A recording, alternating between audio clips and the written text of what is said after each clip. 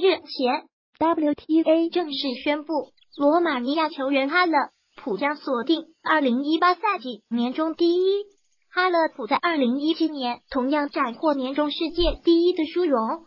正值赛季末尾，我们不妨来回看下哈勒普的辉煌战绩。出生于一九九一年的哈勒普正值当打之年，尽管身体素质并没有那么优秀，但是他凭借灵活的移动、出色的变现能力和充沛的体能，在 WTA 赛场上收获众多成绩。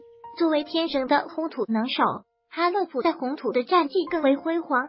他早在二零一四年和二零一七年打入法网决赛，但是不敌莎拉波娃和奥斯塔彭科，收获亚军。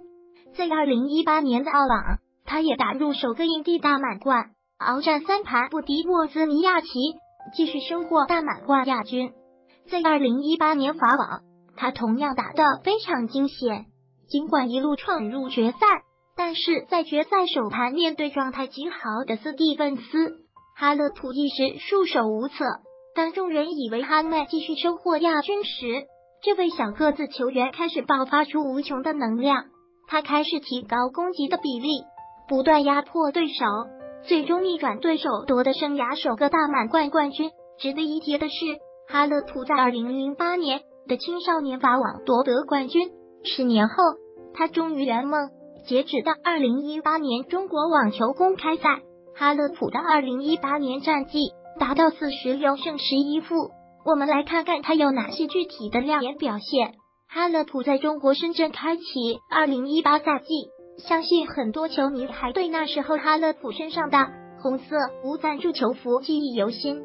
他一路战胜吉布斯、段宁宁、萨巴伦强、贝古、斯尼亚克娃，斩获冠军，为新赛季开启好运。在澳网中，哈勒普尽管脚腕受伤，但仍一路击败了亚娃、布沙尔、戴维斯、大班纳奥米、恰普利斯科娃。科贝尔打入决赛，尤其是和戴维斯的决胜盘，两人一直纠缠到十五比十三才夺得胜利。在打入决赛后，尽管鏖战三盘，但是还是被沃兹尼亚奇击败，无缘大满贯冠军。之后的中东和北美赛季，他在多哈站和印第安都打入四强。转入红土战后，哈勒普打入马德里八强，罗马决赛，进入法网后。哈勒普一路击败众多高手，李斯克、汤姆森、佩特科维奇、梅尔滕斯、科贝尔、穆古鲁扎、斯蒂芬斯夺得冠军。尤其是决赛首盘，面对一向不擅长低地的斯蒂芬斯，哈勒普还是略微有些轻敌。好在罗马尼亚姑娘最终稳定心神，夺得最终的胜利。哈勒普的草地赛季打得并不好，并未参加热身赛。温网第三轮不敌切舒维出局，转入北美印地赛季后，哈勒普状态大好，接连斩获蒙特利尔和辛辛那提两个大赛。